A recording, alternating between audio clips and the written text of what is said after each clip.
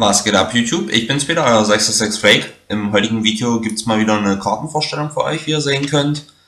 Ich habe mir eine Karte aus Strengths of the Legend rausgesucht, die ich bis dato noch gar nicht kannte, obwohl die eigentlich schon vor ein paar Tagen oder Wochen released wurde.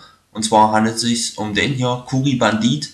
Meiner Meinung nach das erste Kuribo-Monster, was wirklich spielbar ist hat drei Sterne Finsternis, ist ein Unterweltler, 1000 ATK, 700 Defense, somit auf jeden Fall schon mal Ziel für Tourguide, was natürlich extrem fähig ist, denn bis dato waren noch keine weiteren Karten neben Tourguide draußen, die so wirklich gut waren als sekundäre Ziele, nachdem Sangang gegangen ist, hat man jetzt nur noch Turbass und nächtlichen Angreifer. Und ich muss sagen, Kuri Bandit gefällt mir besser als beide, denn er hat ganz einfach den Effekt, dass man in der Endphase in dem Zug, wo er normal beschworen wurde, ihn als Tribut anbieten kann, um die obersten fünf Karten des Decks auszugraben und dann eine ausgegrabene Zauber- oder Fallenkarte auf die Hand zu nehmen und die restlichen Karten auf den Friedhof zu schicken.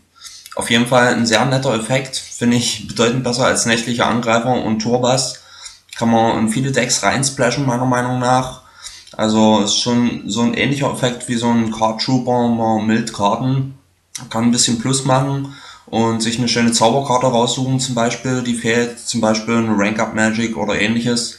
Ja, und das Coole ist halt wirklich, dass er halt noch Tourguide-Ziel ist. Artwork, würde ich mal sagen, ist okay. Ja, und Kuri Bandit, Dragons of the Legend, auf jeden Fall eine Karte, die man auf dem Radar haben muss und die ich mir auf jeden Fall ranholen möchte, weil ich finde auf jeden Fall fähig. Da die Karten hier übrigens auch ausgegraben werden, kann man den auch im Sylvan Deck benutzen, wenn man Lust hätte. Also die Effekte von den Sylvan Karten werden aktiviert, da hier die fünf Karten ausgegraben werden beim Kuri Bandit. Really nice, muss ich sagen. Was haltet ihr vom Kuri Bandit? Könnt ihr mal in den Kommentaren schreiben. Gebt wie immer Likes und Kommentare für das Video und bleibt wie immer dran. Euer 666 Flake.